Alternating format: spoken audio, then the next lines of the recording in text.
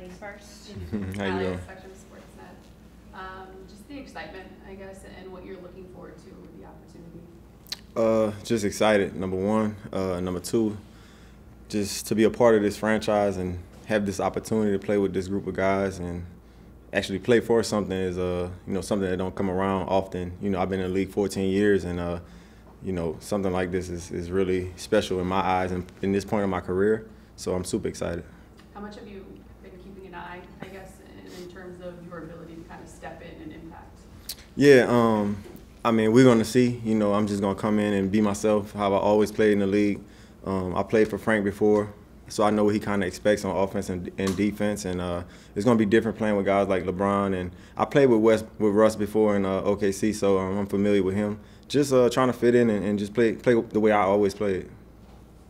Uh, hey DJ, Kyle Goon from the Orange County Register. Um, you mentioned played for Frank before. Wondering what the the first kind of meeting here was mm-hmm. like, um, since you guys know each other pretty well, and and um, you know, did was there any communication before you were able to sign? Was it was it just sort of did it affect your decision one way or another that Frank is here?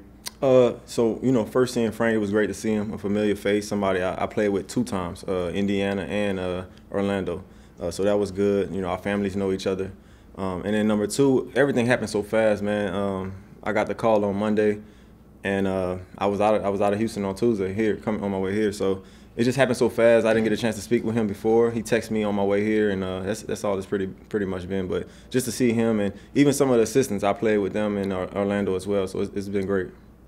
DJ, uh, Dan Woike with the Los Angeles Times. Um, being a guy who's been so many different places in the league, has that helped you kind of quickly integrate into new environments and stuff? Have you've gotten better at it over, the, over the course of your career? Yeah, that's a great question. I mean, you know. Um, people don't understand fans and the people on the outside don't understand how hard how hard it is for guys to uh, you know if it's a trade or whatever it is to go to different teams, meet different teammates, new staff members, learn the city, how to get to the airport, all those those little things that you don't think about. Um, I've done it so many times, so I feel like it has prepared me for for, for this moment, um, having to come here so quick and and uh, just fit in with these guys. As far as on the court, I mean these guys are really smart, so me fitting in on the court, I don't think it will be too hard. Um, just playing the right way and making the right plays. That's all you have to do. Hey DJ, I'm David McMenamin with ESPN. Um, what's been your view of this Lakers team from the outside this year?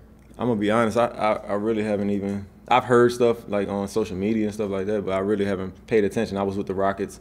Um, um, just trying to help them, help the young guys over there, play my role with the Rockets, and uh, that's all I really focused on. Um, just, just, to be honest, I, I, really don't know what's been really going on. Uh, I know they haven't been um, you know, playing up to everybody's expectations. I would say, you know, but it's the NBA, and, and you know things happen, but we're still in a, still in a good position where we can still have a chance, and that's all you need in this league is a chance. And uh, you know, with guys like LeBron and, and, Russ, and even AD when he's healthy, you know, uh, this team has a lot of good good guys on the team. I think it was like what 48 hours ago or so that, that the news broke that you'd be coming. Um, can you tell us like where you were, how you found out? Um, how, how that went? Yeah, I was actually on, on my way to pick my kids up from school in Houston. Um, you know, I, I, got waived by the Rockets uh, at the deadline, and uh, I just been home, just training and being a dad. You know, um, you know, I don't I don't get that opportunity in my last 14 years to just be home and be with my kids, and uh, they loved it, I loved it, but um, when this opportunity came, I just couldn't pass it up. Did agent call or? Yeah, my agent called me. Yep. Any more questions for DJ? DJ, uh, Bill Oram with The Athletic.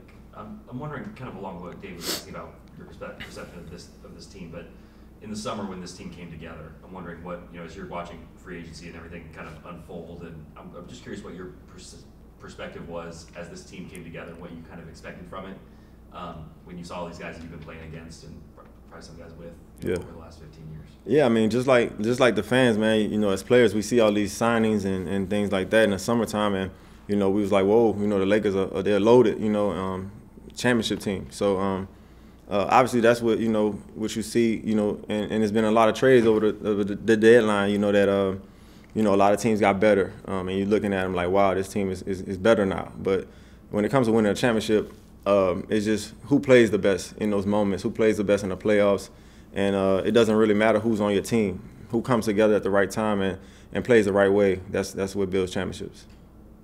Ten cent, you have a question? You have a question? No? Okay. Uh, Christos on Zoom? Hey DJ, hope you're doing well.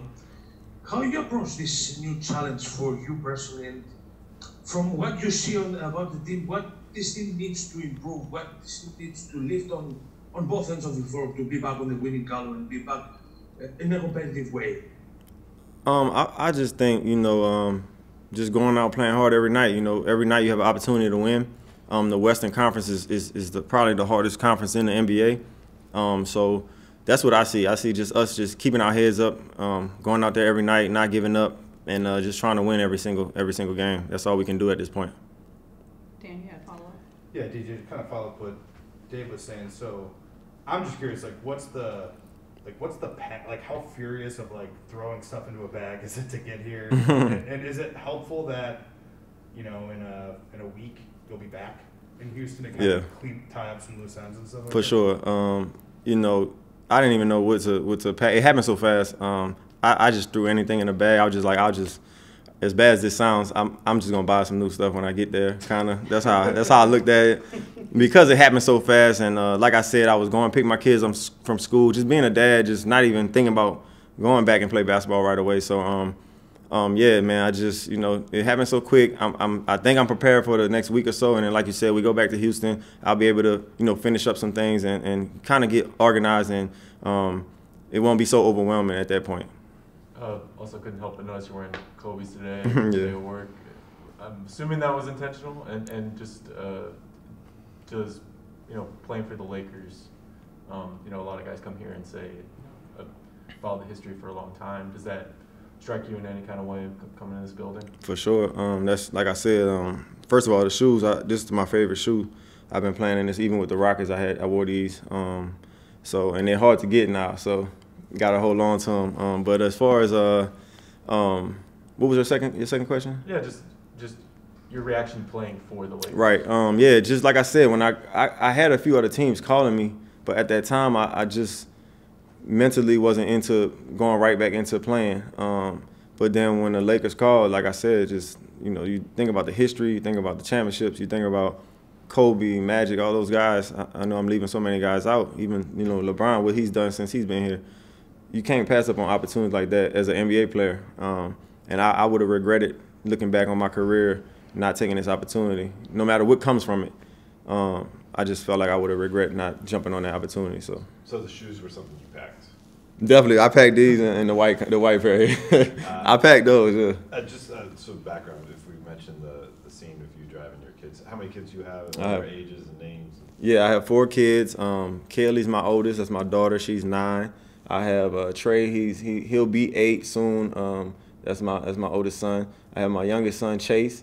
He's five, and I have a one year old. She just turned one last week, so I was able to be at her birthday party. You know, um, my baby girl Tori. So I have four kids, and uh, I was actually on the phone with my agent as they were getting in the car. I was kind of like, "Yo, shh, shh, this is important," you know.